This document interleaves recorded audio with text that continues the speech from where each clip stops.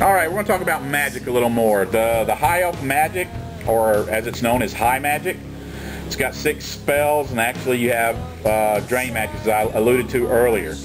Uh, Drain Magic, huge. It's changed from what it was in 6th edition, uh, but I sort of like this change. It adds, if you get it off, it's now cost three more to get off uh, your opponent to get off his spells. So that can really against some Chaos Demon armies and Vampire counts, that can be pretty big. Uh, one note is you want to cast this spell last because uh, it will affect your own casting level. So your Fury of Khaine, which is an 8, would become an 11. Alright, we're going to talk about the six high elf spells. The first one is Shield of Saphery. Basically, this gives your unit a ward save. Uh, it's respectable. It can be in close combat or not. Uh, ward saves, always a good thing to give, and it's a casting level pretty low of 5. The next one is Curse of Arrow Attraction. Uh, here's situational if you have your bowman, which I personally don't like, but your Peter uh, bows or war machines, yeah. What this allows you to do is re-roll misses. Pretty darn big. It also has a pretty decent casting level. The next one is called Courage of I can't even pronounce this, Anaron or whatever. Uh, it lets you count as stubborn. Could be good, could be bad. That's sort of mediocre. Fury of Khaine, your typical 2d6, strength 4, magic missile, casting level 8. Uh, we're getting into some of the other spells. Fury of Khaine, I think its casting level is too high, uh, but that's just me. Every, every model takes a hit, so that could be huge, especially against horde armies. And then the one that gives people heartburn, there's a magic item that does this, and then the number six spell. Granted, it has a high casting level, it's the highest for the all the high elves at 12, is Vaul's Unmaking. This basically destroys a magic item. Not that there's a lot of magic items in the game, but people have heartburn over that. All right, next thing we're going to talk about, or actually I'm not going to really talk about, I don't like special characters, but Games Workshop is bound and determined to uh, push these down our throat. So, uh, actually, I'll probably touch on a few of them. All right, moving on to the high elf special characters. You got Tyrion. He is your uber fighter guy. If You like that kind of stuff. Uh, I'm not going to go into his points. He seems like a decent buy for his point cost.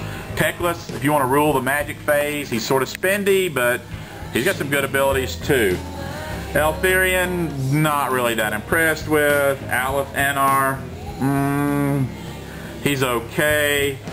Uh, the the one uh, special character that I actually on own is Caradryan.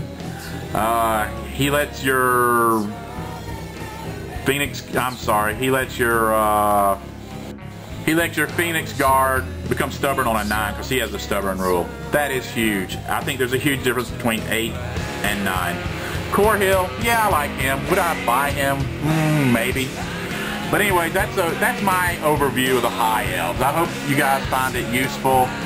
Uh, next, I'm gonna I'm gonna rant and rave about the High Elves. It's something that happened to me last week, and actually just happened right now. All right, one of my complaints is GW is getting cheap. And what do I mean by cheap? Well, I haven't had my High Elf book that long, and while doing this review, the pages fell out of it. And this isn't the first book. I have another, I have other books, one of my Demons of Chaos for 40K. The pages are starting to come out of it. Games Workshop is like almost every other company's printing in China. The binding or the glue is just crap. I'm going to have to go spend a few bucks now and have it spiral bound.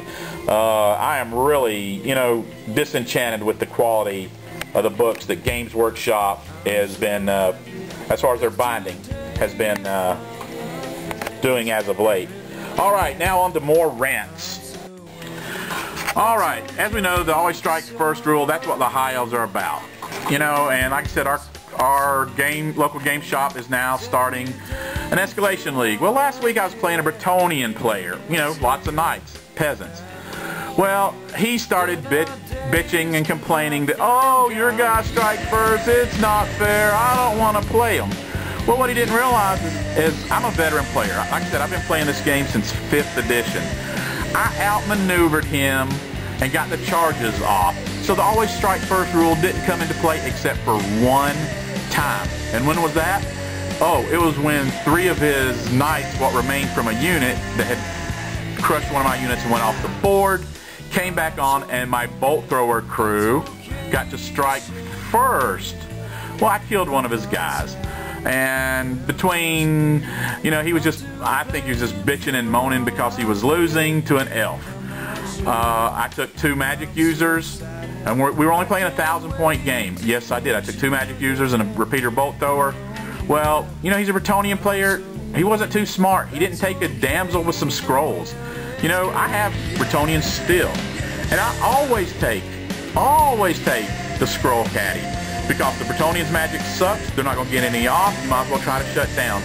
But anyways, I'm just curious to my fellow high elf generals out there, you know, do people bitch and moan about the always strikes first? Because let me tell you, right now, I really, really think that the Dark Elves are stronger than the High Elves. With their hatred, getting to re-roll, oh, that's huge. But anyways, I'd like to hear your input on what you guys think, you, whether you play play High Elves or play against them. You guys feel like the always strikes first rule, you know, is, is broken? And you're probably thinking, well, why did I get High Elves? Well, like I said earlier in the video, I created a War Machine, uh, well, actually Hordes, Troll Blood Army. I'm trying to get away from Privateer Press a little bit because I have too much of their stuff and I wanted to play a different army that I've never played before. But anyways, I look forward to your comments about the High Elves, both your experiences, whether you play them or not. Well, I hope you enjoyed my review. Uh, probably gave out some statistics that I shouldn't have. But, you know, it's hard to talk about this stuff. And yeah, that, that's right. Someone getting overrun by Dragon Prince. But anyways, uh, have a good day and see you on YouTube very soon. That's okay, so are you. Broke is Sunday morning. Is every day